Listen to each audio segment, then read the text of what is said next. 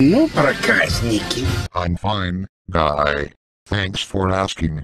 Ребята, давайте жить дружно. Какой хороший день для прогулки.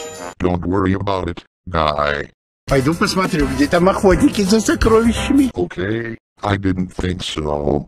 Хорошее приключение пойдет им на пользу. У них будет время обо всем подумать. It's not a problem.